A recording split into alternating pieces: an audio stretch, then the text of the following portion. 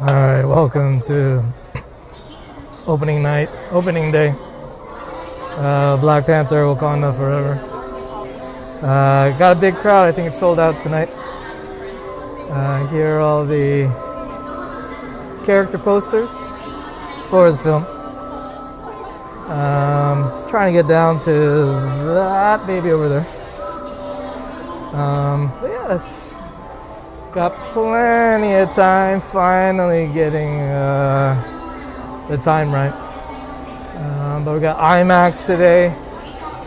Uh, Black Panther, Wakanda Forever. Cross our fingers. But who started it all? Blade. Blade was the man started it all, yeah. Wesley Snipes, shout out to Wesley. But we got IMAX today. Uh, Black Panther, Wakanda Forever.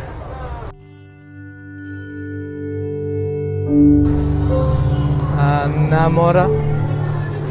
Comic book, she's really badass, so see how she translates. For IMAX, uh, 3D, Wakanda Forever. Uh, zoom back in on Mount Fuji. Shout out to Wesley Snipes. Uh, Black Panther, Wakanda for Shuri's story is a good story, but its execution. A leader and losing from right here knows what it's doing. That's, that's a tightrope they're walking. All right, there's the uh, principal poster for Black Panther, Wakanda Forever. Uh, let's go through the characters. We got uh, Ramonda, the great Angela Bassett. Uh, we got we got Everett Ross, uh, Aneka, Amo,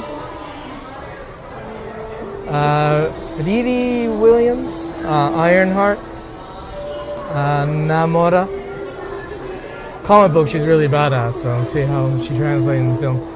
Uh, another principal poster for Wakanda Forever. Her A- Attuma, their prince Namor himself. Uh, here the the uh, what would you call it? The main uh, promotional item for uh, Black Panther, Wakanda Forever. All the principal characters. Um, let's take a look here. I don't know. I think uh, Namor as an Aztec serpent god rather than the king of Atlantis should be really interesting. Uh, let's see what else we got here. That's pretty good. I mean, uh, I think they shelled out a bit more for Thor, uh, Love and Thunder. Uh, fix the mic there. Yeah. Just a moment. Back, fix the mic. Yeah, go got Wakanda Forever. It's Pretty good looking promotional item there. Uh, I'm just gonna squeeze through, pardon me. Um, check it out from the other side. But remember, who started it all? Blade. Shout out to Wesley. Um, hopefully he'll be back in the MCU. But alright, we're on the 12th floor for IMAX uh, 3D Wakanda Forever. Uh, let's make our way. Okay. We are well ahead of schedule, and oh my goodness, look at this sunset. Gotta love going to uh, IMAX theater on the 12th floor in Tokyo, and just look at that sunset. Oh my goodness, look at that. We got Mount Fuji just over here. Okay, I'm gonna see. I'm gonna zoom in. Just give me a second. Okay, there we go. We got Mount Fuji there, all the way in the background. That is a beautiful sight, isn't it? Oh. Okay, zoom out there, and oh, it's just beautiful. Holy cow! Zoom back in on Mount Fuji. Wow, that is. I think uh, Japan has some of the most um, unmatched beauty, natural beauty in the world. Um, don't mean to put down any other country's um, natural beauties because I'm sure they're all beautiful, but uh, Mount Fuji, uh, just an amazing sight. Fantastic.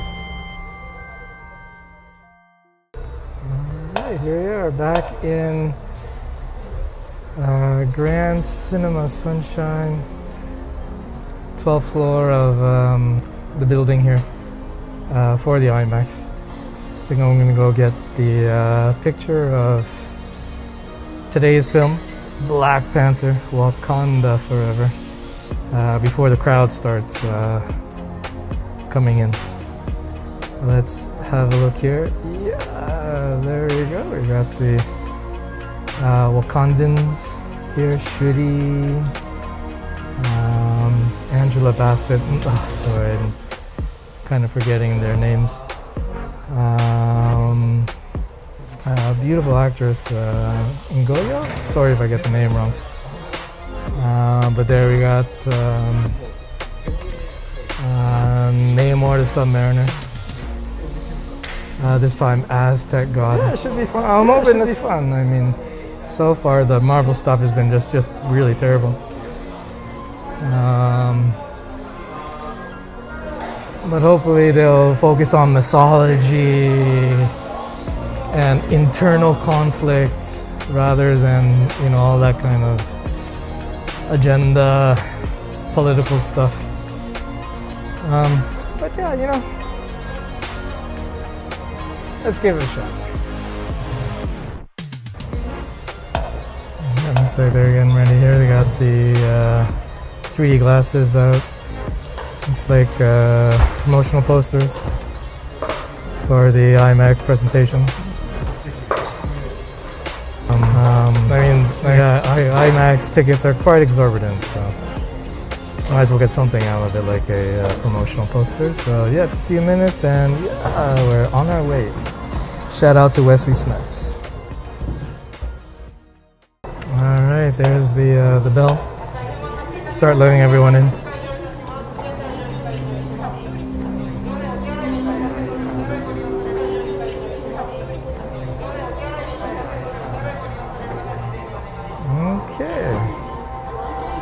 Go check out uh, Black Panther Wakanda Forever.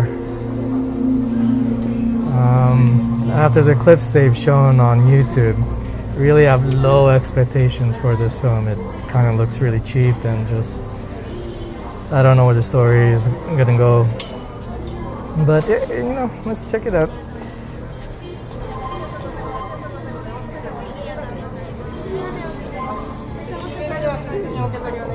Arigato. Okay. Oh, hi. Arigato. Yeah, glasses. Uh, oh, yeah, catalog. There's, There's a uh, hobby store in Tokyo. You can pick up all this uh, Marvel merchandise. Um, yeah, IMAX poster for the film, but there's that speaker out in the corner is my favorite speaker. Uh, in all movie theaters in Tokyo. Ah, there you go. There you go. 316. C16. Shout out to uh, Stone Cold Steve Austin. But yeah, we're gonna be uh, up close and personal with uh, the Wakandans and the they're not going to be called Atlanteans this time. But,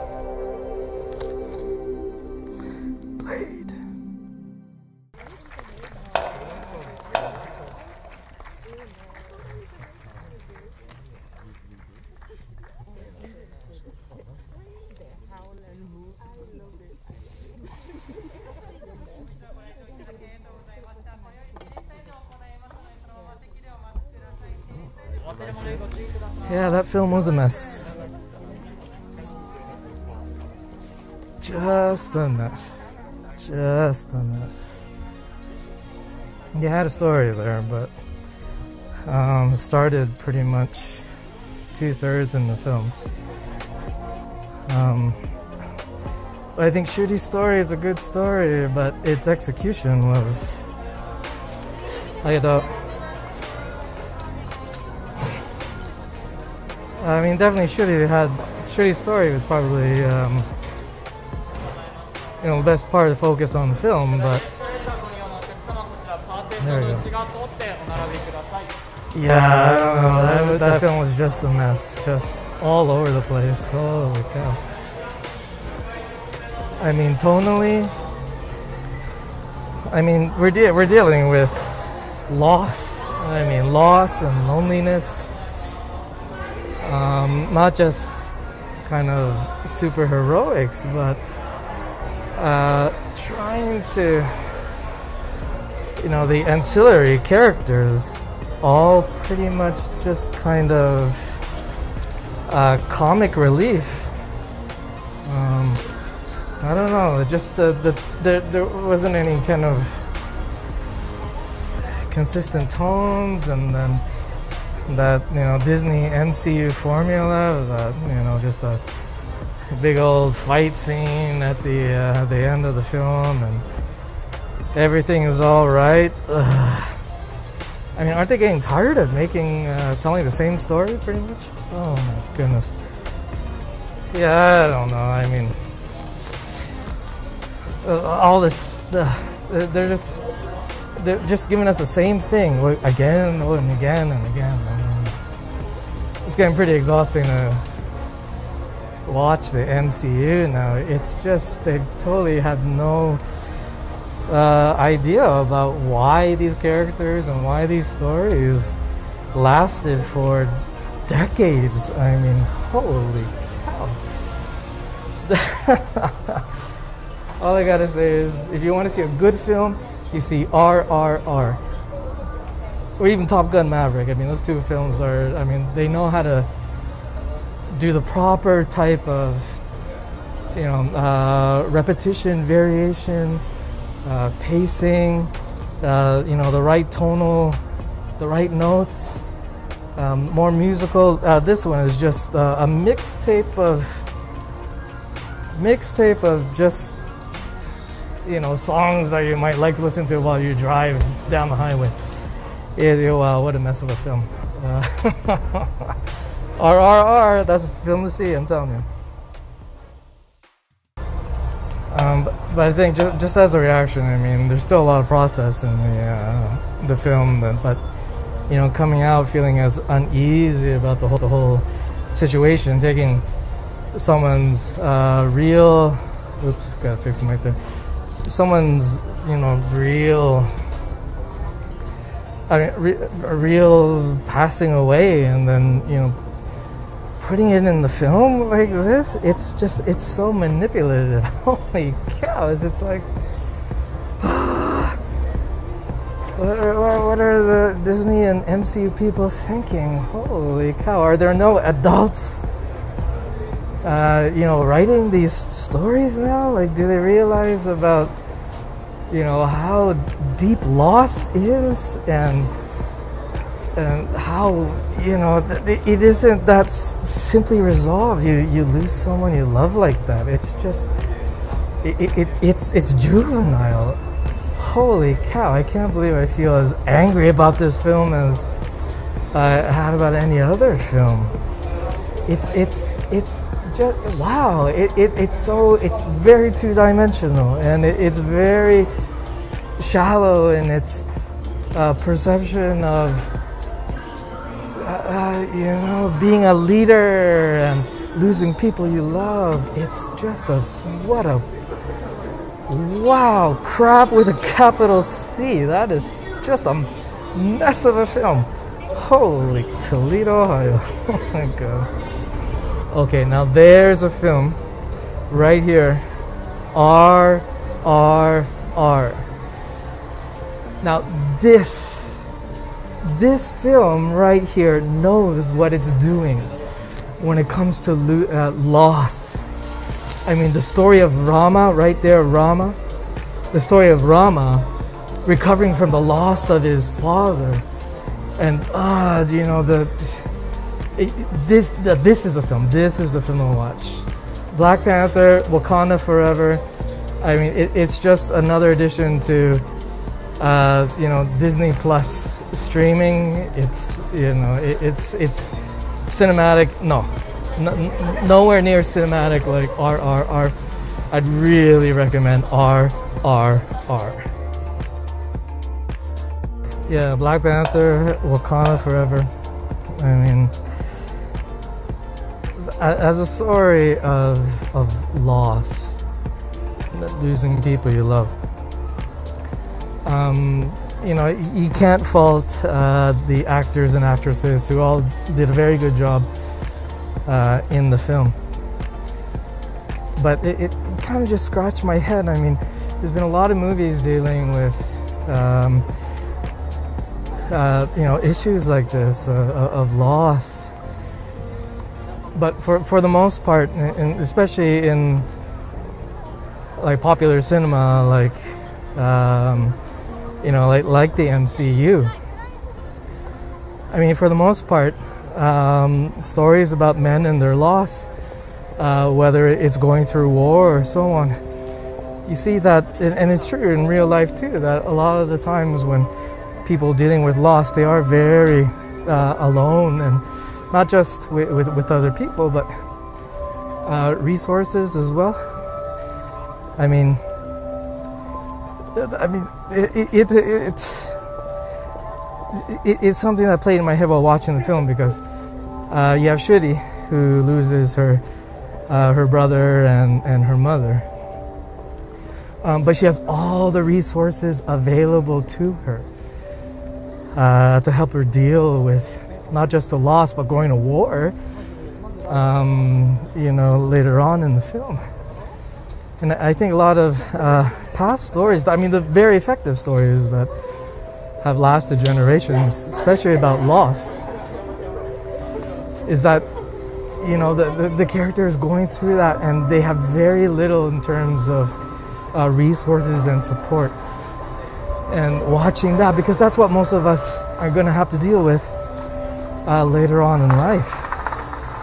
So I don't know, it was just really hard to kind of feel um, I mean, I mean to, feel uh, kind of sympathy for Shuri. The actress is great. Don't get me wrong. I mean, she was fantastic in the film, but uh, the, just the way the story arc went. I mean, I don't know. I just felt it really. There's not. I mean, after watching RRR and Rama and Bheem's story of their loss, I mean, really pulling for them to uh, achieve their goals. But I don't know. This uh, Black Black Panther Wakanda It was just. It, I mean, it, it was just kind of like paint by numbers. It was really flat. Um, not feeling really deep sympathy, but at the same time using, uh, you know, the memory of the the late, you know, Chadwick Boseman that's that is a little bit of a slippery. That's, a tightrope they're walking there because I don't know if they should have used uh, uh, used that in in the film. It it it's yeah I don't know. It just made me feel really uncomfortable with uh, everything that was going on in the film. So yeah, I don't know about Black Panther: Wakanda Forever. Um, again, I I can't recommend enough. Uh, great film, RRR. I mean, that's a film that really does um, that, that type of story of, of loss and coping with loss and uh, being a leader. Um, much, much better than uh, Wakanda Forever. So, yeah, RRR. Um, if you have to choose RRR, Wakanda Forever, I'd really recommend RRR. Thanks for listening.